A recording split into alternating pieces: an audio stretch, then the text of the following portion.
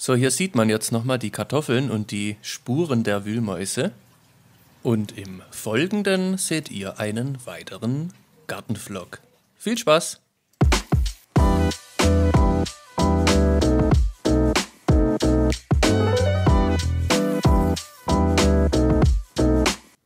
Heute wird der einjährige Beifuß geerntet. Er ist jetzt nämlich soweit, dass man ihn erntet. Mit diesem Tool hier werde ich den jetzt äh, unten abzwicken. Ja, die Pflanze ist kurz vor der Blüte. Das ist der ideale Zeitpunkt, um die zu ernten. Zu Hause werde ich die dann aufhängen, trocknen und Tee draus machen. Kurz die Kamera hier positionieren und jetzt eben ganz unten abmachen. Ah, jetzt mal rankommen. So. Zack. Das seht ihr, ganz schön dick wird so ein Teil. Ja, der Beifuß, der wurde in den 70ern bekannt als Wirkstoff gegen Malaria. Da gab es auch mal einen Nobelpreis für eine Pharmakologin aus China. Da muss ich aber den Namen noch raussuchen und hier mal einblenden. Ja, und auch die Wirksamkeit gegen das Coronavirus wird derzeit untersucht. So kam ich auch letztes Jahr drauf, mal den Beifuß anzupflanzen. Jetzt ist es auch Zeit, mal eine Staudensellerie zu ernten. Ja, geht recht schwer raus. Ich die mal mit, mit den Wurzeln rausziehen.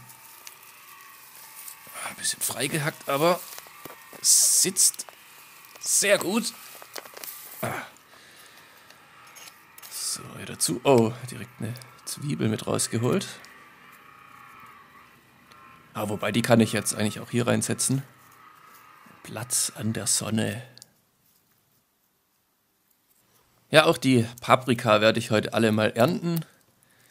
Hier habe ich ja gelbe Paprika, gibt es bekanntlich in grün, gelb, rot und so ein paar Zwischentönen. Immer spannend, wenn man nicht so ganz genau weiß, ob die dann noch die Farbe wechselt oder ja, wann sie dann reif ist. Aber meine sind auf jeden Fall fertig hier, die gelben. Ein paar rote habe ich auch noch nebenan, zeige ich euch nachher. Ja, und vielleicht interessant jetzt äh, nochmal der Fakt, dass äh, Paprika deutlich mehr Vitamin C enthalten wie die ein oder andere Zitrusfrucht, also wie Zitronen oder Orangen. Selbst gedünstet hat so eine Paprika noch ja, drei bis viermal so viel Vitamin C wie so eine Frucht. So, die gelben sind geerntet, da liegen sie. Und jetzt, wie gesagt, hier noch ein paar rote, ein Paar. Und hier die große grüne, die mache ich auch noch ab. Ich freue mich jetzt schon auf die Gemüsepfanne mit viel Vitamin C. Mmh. Ja, wir alles hier sammeln, aber die hier, sehe ich gerade, die lasse ich doch den Schnecken hier. Dann schauen wir mal bei der Roten Beete vorbei. Machen da mal ein paar raus. Ich mache noch nicht alle raus, sondern ja, immer so nach Bedarf. So einen schönen rote Beete Saft oder einen rote Beete Salat. Ich habe hier zwei verschiedene Sorten im Beet.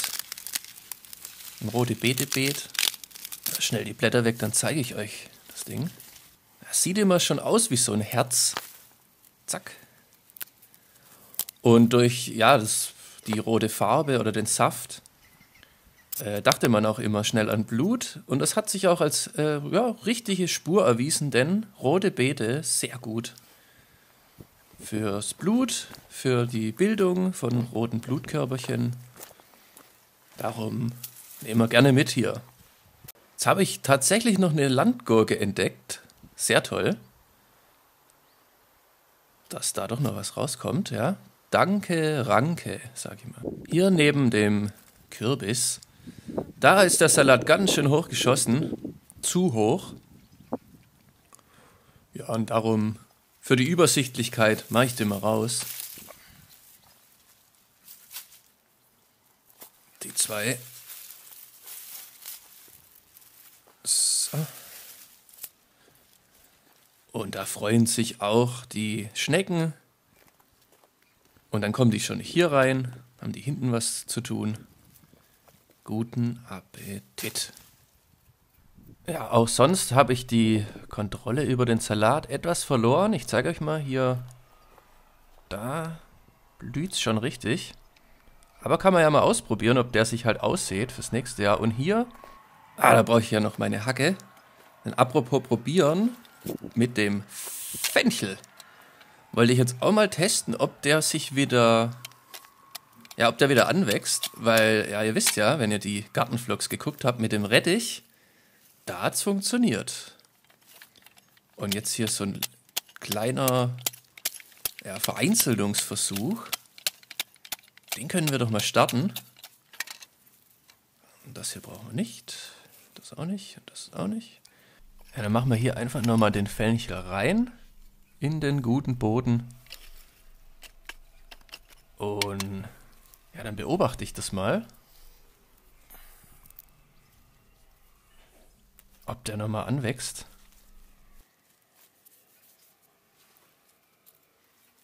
Ja, und damit man es wirklich weiß, mache ich das mit zwei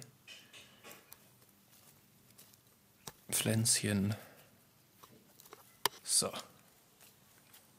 Gieße ich da noch ein bisschen an, ja, damit die Erde richtig sitzt. Da, ja, da teste ich noch viel rum, da bin ich noch am Erfahrungen sammeln. Aber ich bin guter Dinge und ja, ihr wisst ja, hier ein bisschen weiter rechts, da hat es gut geklappt. Hier mit dem Rettich. Drei Stück habe ich, einen mache ich jetzt mal raus. Die ja, haben das eigentlich ganz gut verkraftet.